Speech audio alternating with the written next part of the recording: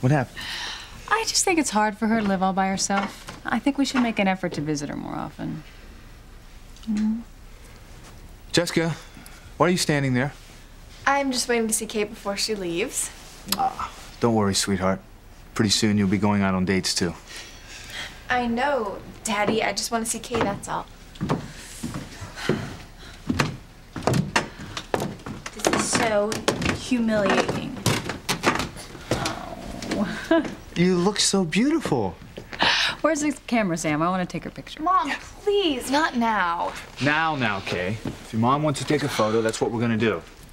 I got it. Let's make it a family shoot. Come on, just push that button right there. Sure, Chief. Come on, Kay. Come on. Jessica, get in here too. Everyone say Cheshire Cat. Cheshire Cat. Cat. oh, God. Gotta fly. Uh, I got, you are forgetting something. Who is this big date with? well, actually, um, it's with Miguel. Miguel. I thought you guys were just pals. I didn't know you were dating. Neither does Miguel. Why isn't this young man picking you up? Well, it's kind of a surprise thing. It's gotta go. Don't you love it? Just one surprise after another tonight. Thank you. There may be moments, there will be moments of doubt about us. But baby, I know I don't wanna live one more day without For you. wanted. You're the one I've They're beautiful. for all of my Not half as beautiful as you are. don't wait a moment more to touch me. Don't wait a moment more, caress my skin. I knew it was a mistake for us to stay here tonight. Mom, stop it. What happened just now has has nothing to do with our being in harmony. I don't believe that, Charity. They found us. Mom, nobody's found us. That's not what happened. Then what was it, Charity?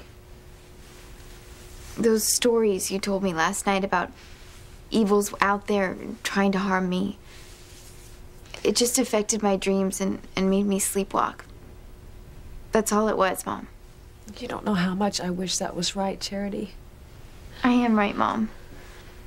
Now let's forget about all this bad stuff and, and just have a nice time tonight. Come on, let's go to dinner.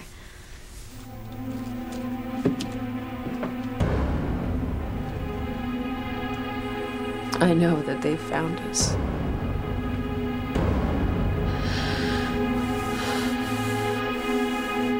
You disobeyed me, Theresa. I told you not to go see Mrs. Crane. I know, Mama.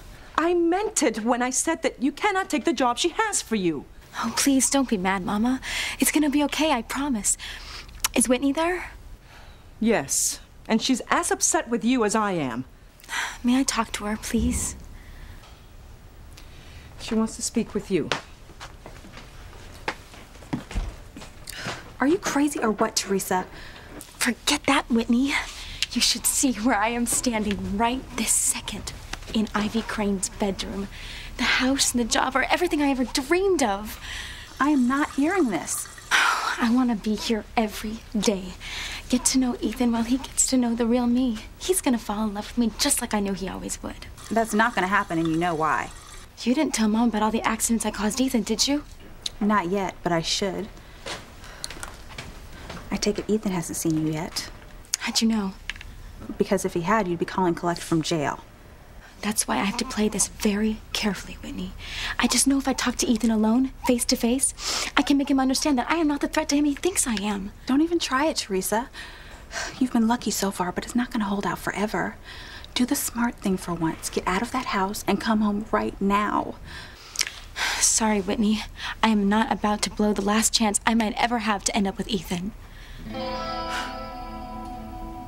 What do people like Jean Luc get off thinking they can target us just because we're Cranes? I can't answer that, Ethan. What is that movie line?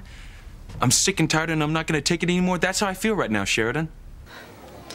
If this has anything to do with what Jean Luc did to me, forget it. He's not even worth it. It's about all the Jean Lucs in the world. All the people who think they know who we are because of our last name and take advantage of us because of it. Including that damn local girl who's been after me. She's still at it? Yes, and I'm determined to find her and make an example out of her. And I mean, if I don't, who knows what could happen? Someone even more dangerous could get it into their twisted minds to come after you or my sisters. I won't let that happen.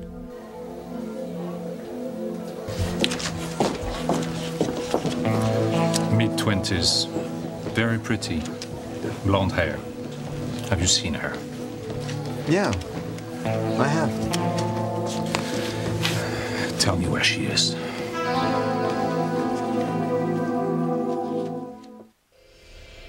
Eye of Newt, unholy water, reveal to me the missing daughter.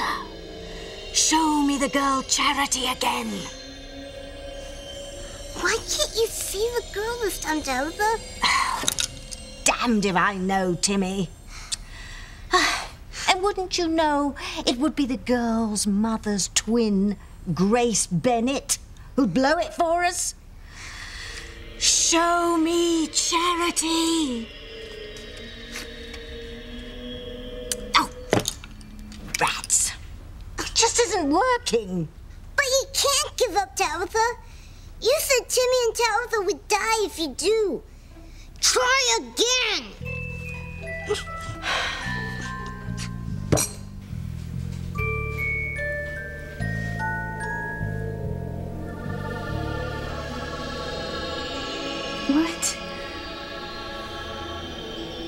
How did I get these?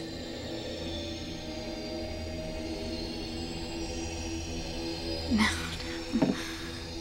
Mom, you almost ready? I don't want to be late for the lobster shack tonight.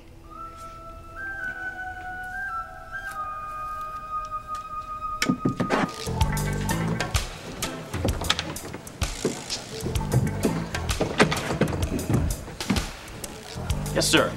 Hi, reservation for two, Lopez Fitzgerald. Is the other person here yet? Uh, no, you're the first one in your party. I'll let you know when your guest arrives. Okay. You'll know her when you see her. She's the most beautiful girl in the world.